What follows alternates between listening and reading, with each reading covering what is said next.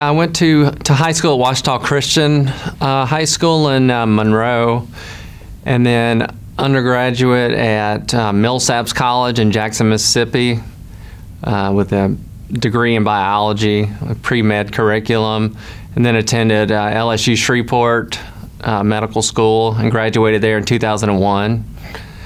Uh, following that, I did my urology residency in Houston, Texas at UT Houston. I'm a urologist, and we deal uh, basically with diseases of the urinary tract and voiding dysfunction, as well as men's health and men's sexual dysfunction.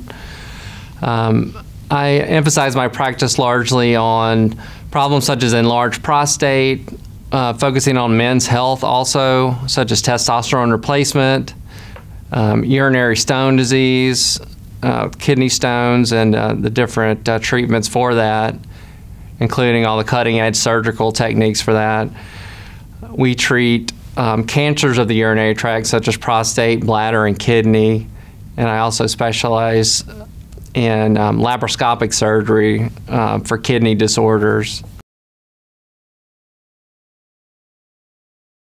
I have special interest really in uh, kidney stone disease, um, which encompasses a wide variety, such as um, shockwave lithotripsy, or endoscopic procedures with laser, as well as percutaneous uh, type procedures uh, for larger kidney stones.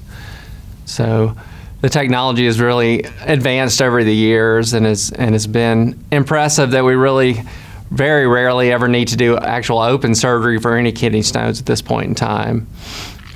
And um, I like to be on the forefront, you know, those new technologies for stones.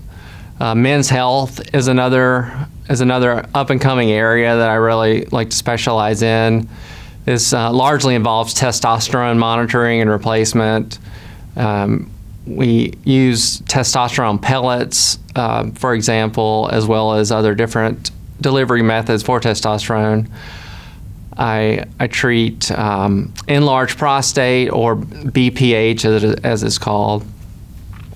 And we, we have um, really cutting, cutting edge technologies uh, for that where procedures can generally be done on an outpatient basis at this point in time and with, with less complications.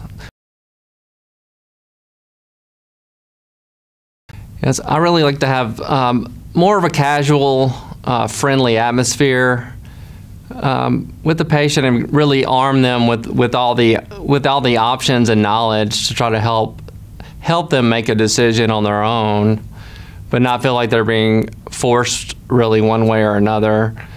Uh, there's risk and benefits that have to be weighed in every situation, and so I just I like to try to keep the patient well informed in, in that way, so we can um, go forward together with a treatment plan.